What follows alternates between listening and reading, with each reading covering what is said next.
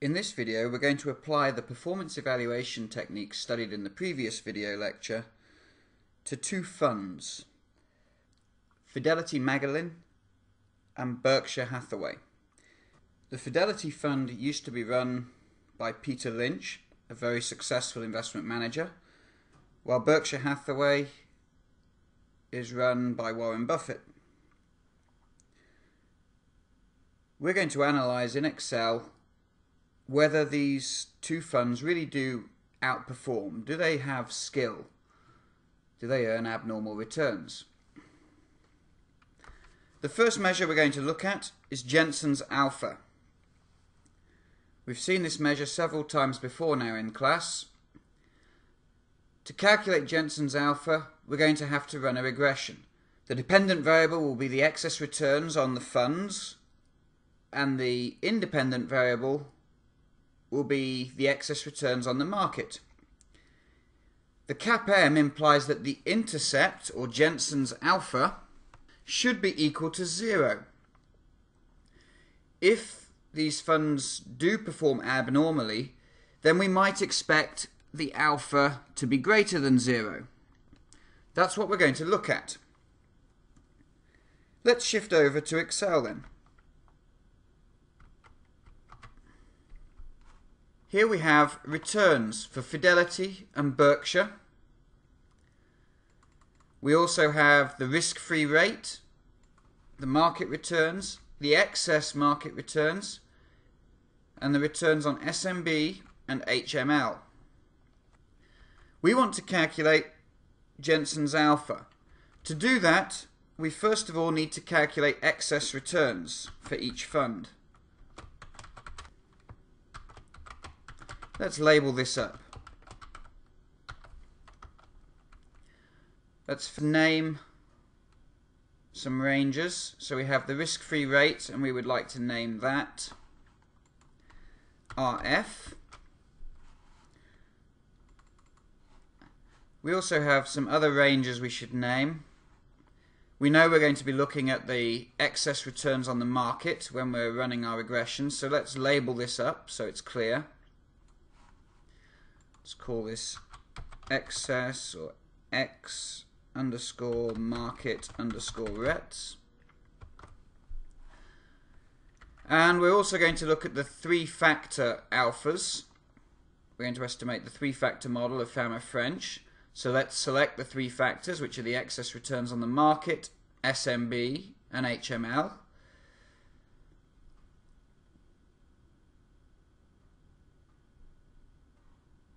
And let's call that 3 underscore factors. Hit enter. Finally, we can also name the range which contains the raw returns for Fidelity and Berkshire. Let's name that range raw underscore ret. Hit enter. We want to calculate the excess returns for Fidelity and Berkshire. So let's select the range where we're going to put those returns.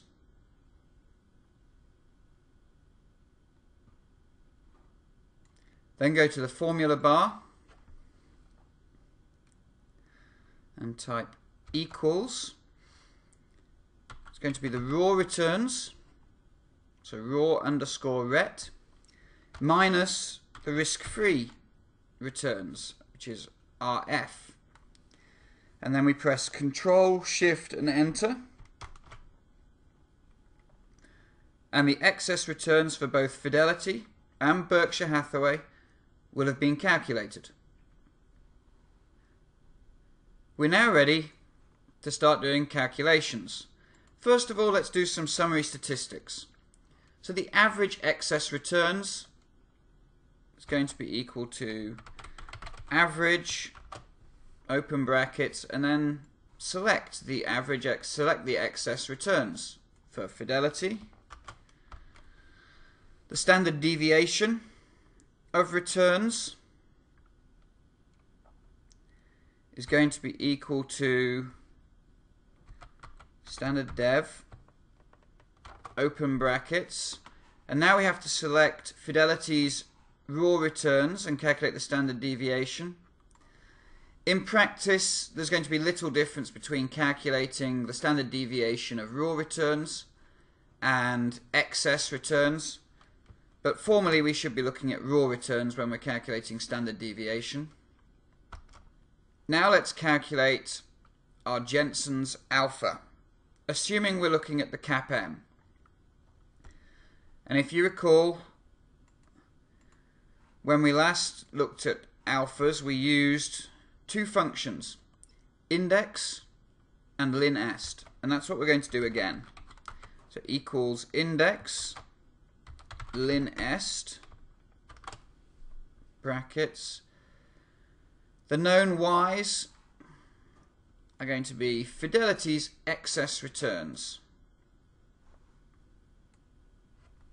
Comma. The known x's are going to be the excess market returns, x underscore market underscore rets. We want to include a constant, so comma. We will also include statistics, so we type 1. Close the brackets. Now we're looking at where should Excel look for the coefficient. It's going to be row 1, column 2, because we've got two factors. We've got the intercept and the market, and they're going to be listed in reverse order. We can now hit enter and we've calculated our alpha. We also need to calculate the standard error using a similar formula.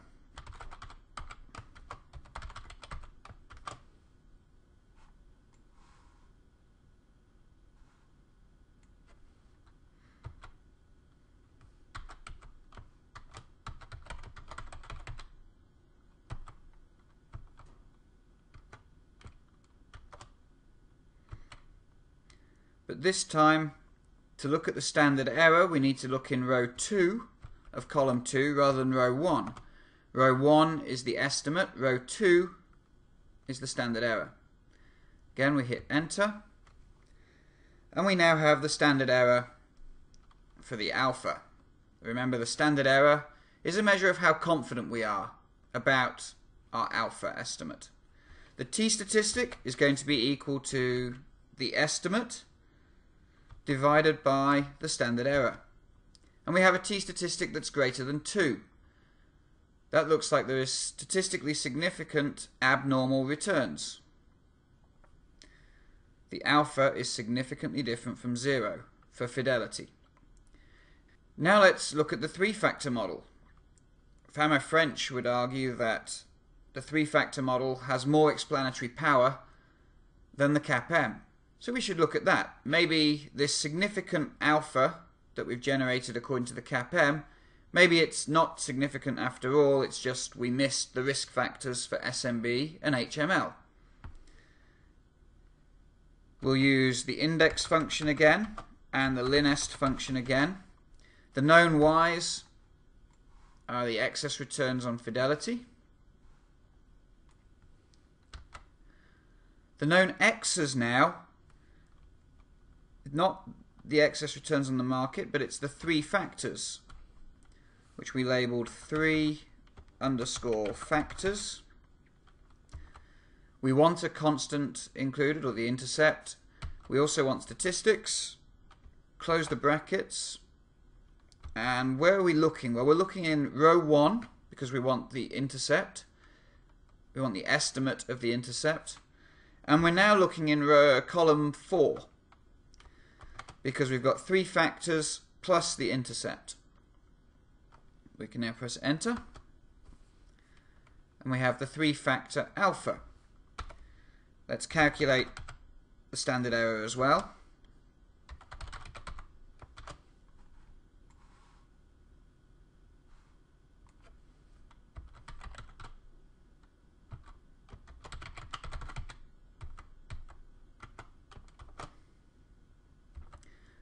We need to look in row 2, column 4.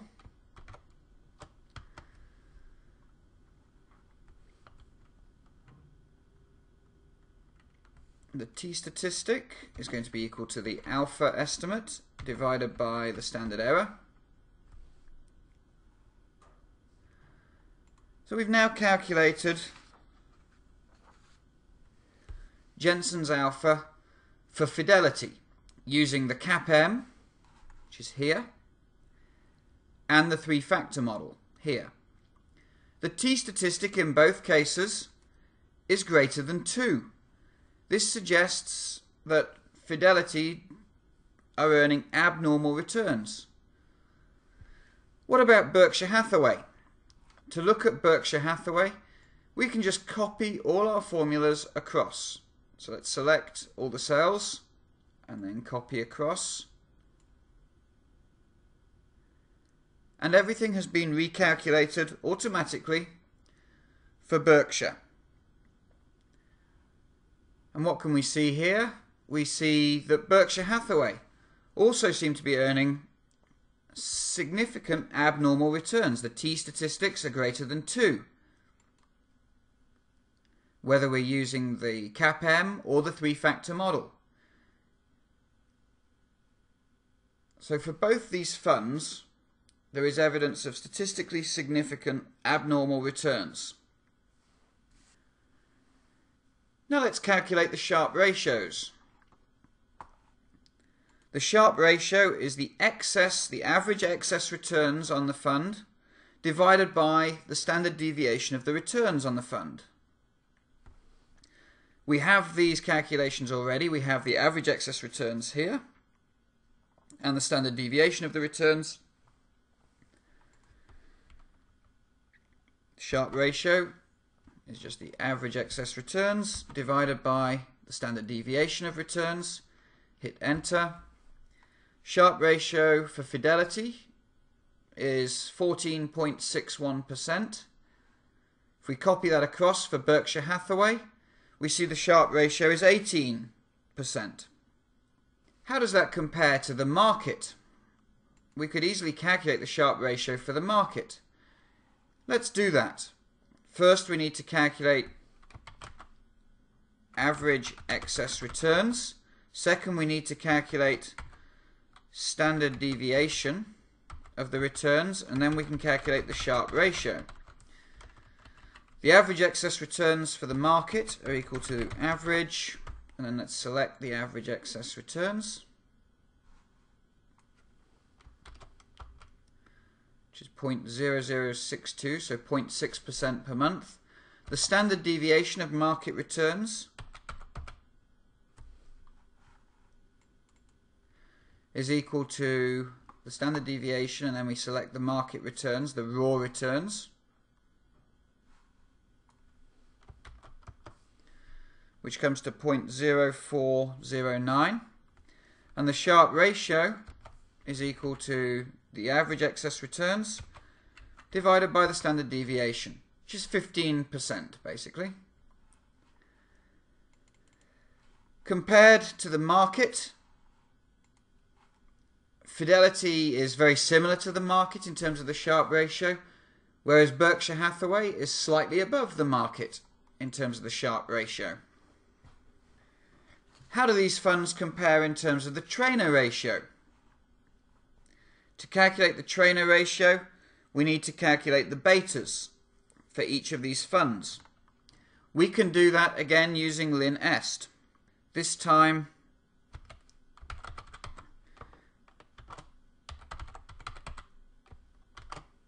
we need to look at the raw returns. We're using the market model so we need to select the raw returns for Fidelity.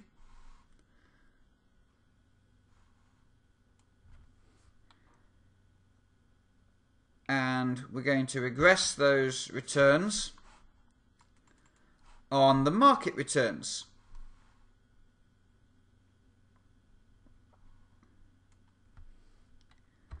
We want to include a constant and we want statistics.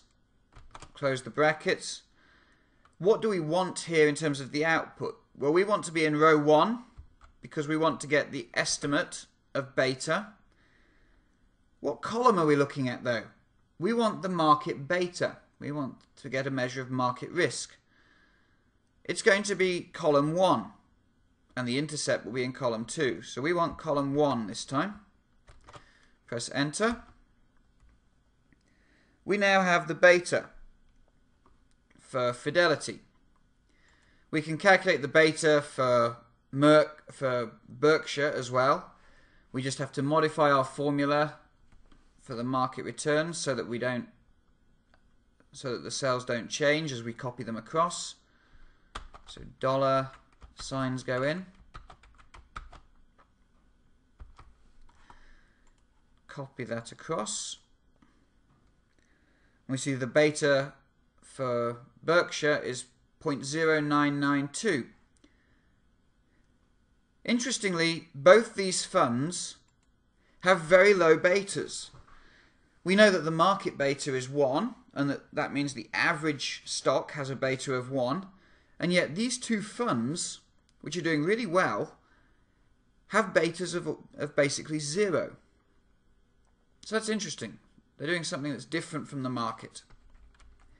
Let's calculate the Treynor ratio now. The Treynor ratio is equal to the average excess returns divided by the beta. We can copy this across. We have the Treynor ratio for both Fidelity and Berkshire Hathaway. Now here's a problem with the Treynor ratio. The CAPM betas for these two stocks, for these two portfolios, are very low. But the Fidelity beta is almost eight times smaller than the Berkshire beta. Even though both are very small, the Fidelity beta is still smaller. And this means that the Treynor ratio could be misleading. And we can see now that according to the Treynor ratio, Fidelity is really doing a lot better than Berkshire Hathaway. But that's not necessarily true. The Sharpe ratio tells us the reverse. This highlights some problems with these measures, and that's why it's important to look at different measures to get a true picture of what's going on. What's the Treynor ratio for the market? The Treynor ratio for the market is actually very easy to calculate because we know that the beta on the market is equal to 1. So we just calculate the average excess returns divided by 1. The Treynor ratio is 0.0062.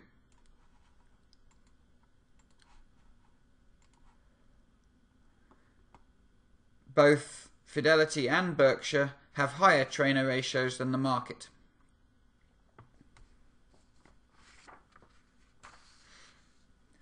The final ratio we're going to calculate is the information ratio. This is the most difficult to calculate in Excel. We're going to do it in five steps. Step one, we're going to estimate delta 0 and delta 1. Step 2, we're going to calculate predicted returns. Predicted returns are going to be equal to the estimate for delta 0 plus the estimate for delta 1 times by the return on the benchmark. Step 3, we're going to calculate epsilon.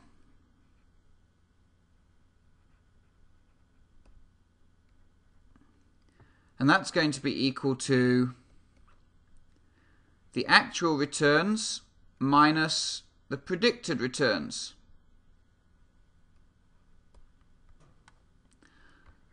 Step 4, we're going to calculate the standard deviation of the residuals. That's sigma epsilon. And step 5, we'll calculate the benchmark return. Now let's go back to Excel. The first thing we need to do is calculate delta 0 and delta 1. Let's first name the range for the market so that we can save time with our formulas. If we use the market returns, we'll call them market underscore ret.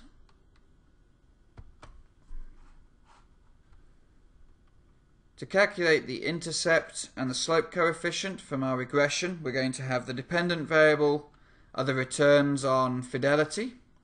The independent variable will be the returns on the market, because that's going to be our benchmark. Equals index lin est. Now let's select the returns for fidelity.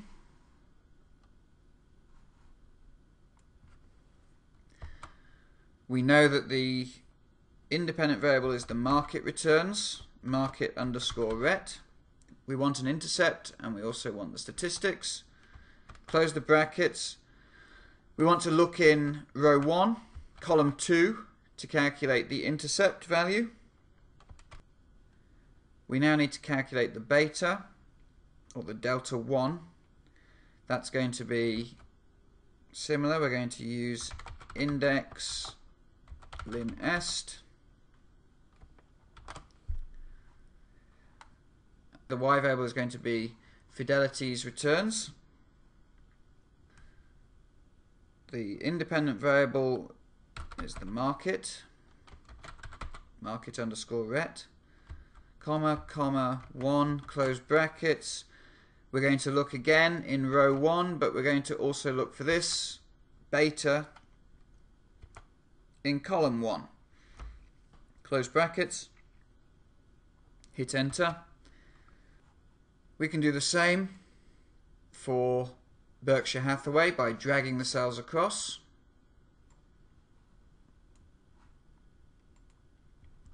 So we've now calculated delta, the estimates of delta 0 and delta 1 for both Fidelity and Berkshire.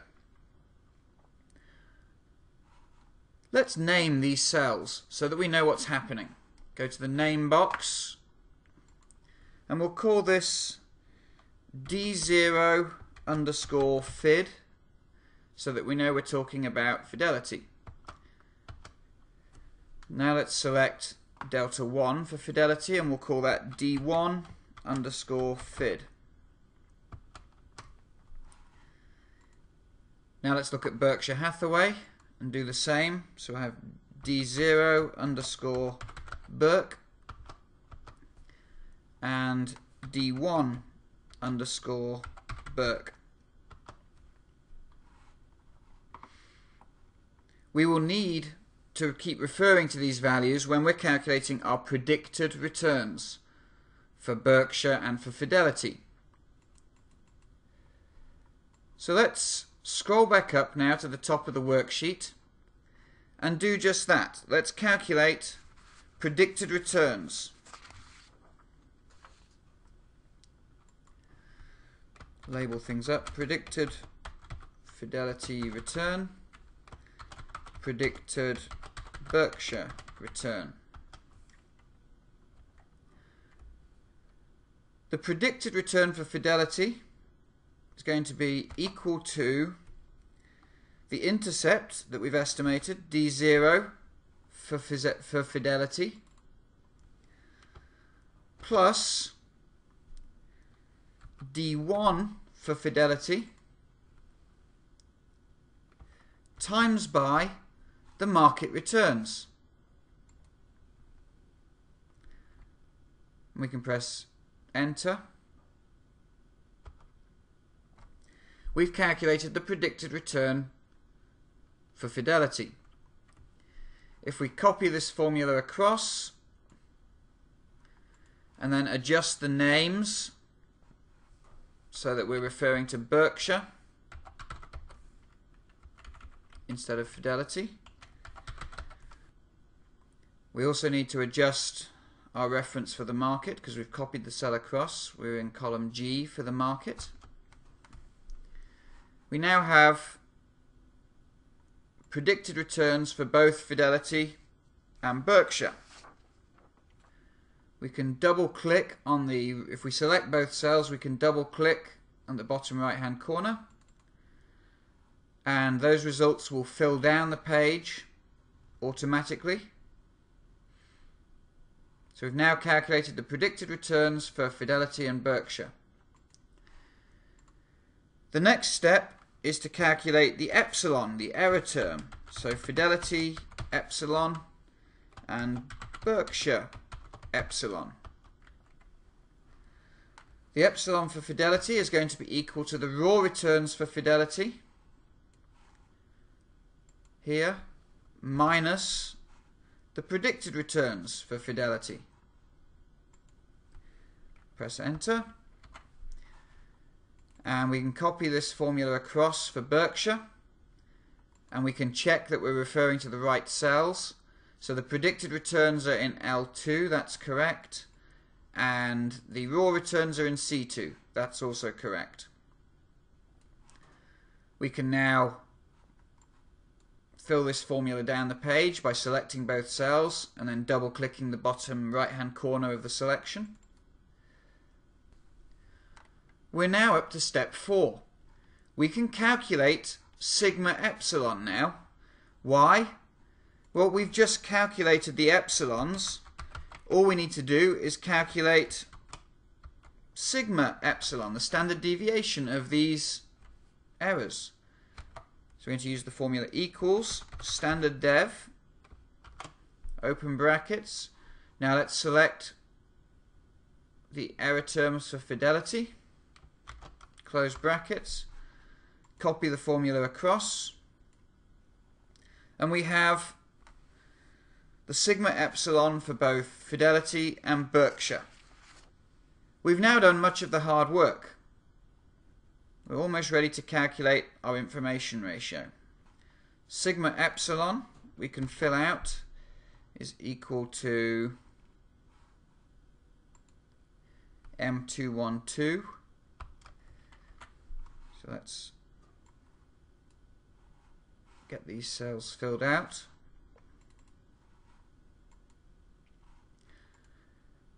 The final thing we have to do is calculate the benchmark returns. The benchmark returns in this case are going to be what's predicted according to the CAPM. For the CAPM, we would predict that the returns would be related to the average risk-free rate plus the beta for the fund times by the average excess returns on the market for the same period. We need to calculate the average returns for the risk-free rate, which is going to be equal to average and then select the risk-free rate. Close brackets. Let's label that av underscore rf. Hit enter. We also need to calculate the average excess returns on the market. Which we've done before, but we'll calculate it again so it's in the same place. And we'll label that we'll call that the market risk premium. And hit enter. We can now calculate our benchmark returns.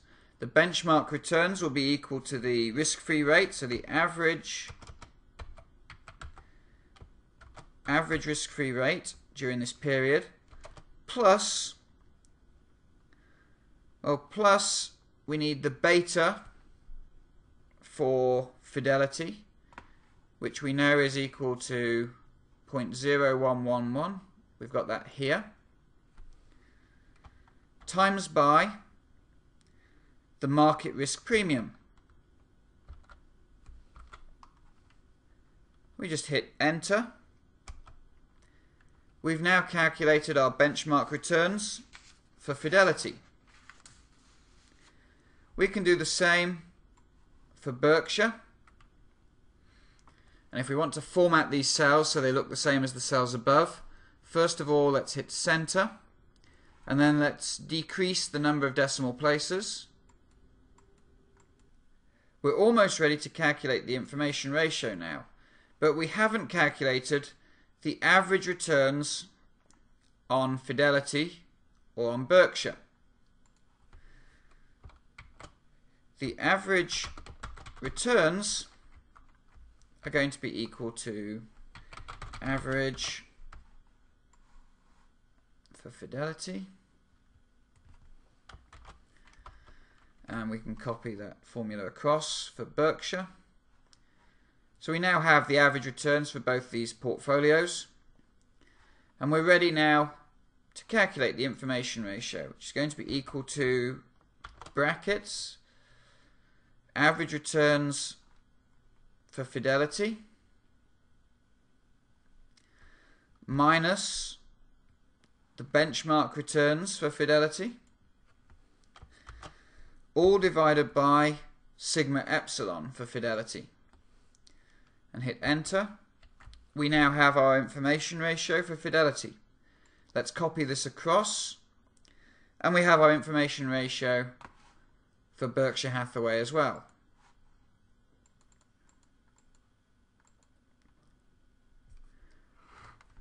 Which stocks do, which fund is doing better then? It's pretty hard to say. The alphas tend to be higher for Berkshire Hathaway, but we know that we can't compare funds based on their alphas. We just know there's evidence that both earn significantly abnormal returns.